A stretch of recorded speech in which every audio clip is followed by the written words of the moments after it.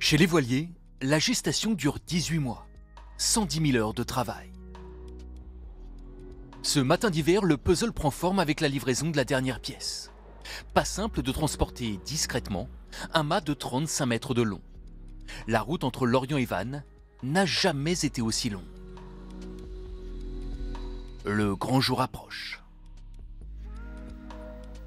Pour que ça fonctionne bien et qu'on soit optimum le jour J, la mise à l'eau un an avant l'objectif sportif nous donne toutes les chances d'arriver avec un bateau et un marin en, parfaite symbiose avec une machine fiabilisée dont on, on va pouvoir exploiter le potentiel. Ce n'est pas Blagnac, mais Vannes. Ce n'est pas un Airbus, quoique, mais un bateau. Le dernier né des trimarans géants. La catégorie ultime n'a jamais aussi bien porté son nom. 32 mètres de long sur 23 de large, l'équivalent de 4 terrains de tennis, les pieds dans l'eau. L'originalité a un prix 10 millions d'euros.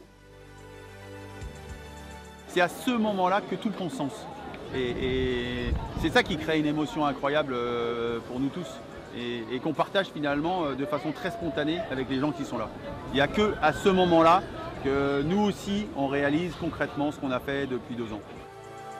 Les extraterrestres n'existent pas, mais ce bateau-là s'en rapproche. Et maintenant, il n'y a plus qu'à. Il va falloir se jeter à l'eau. Je ne sais pas tout aujourd'hui. Et même de dire ça, euh, j'en suis enthousiaste en fait.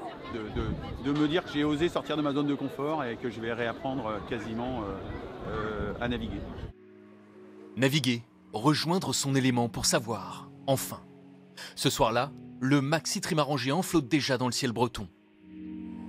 Un bon présage.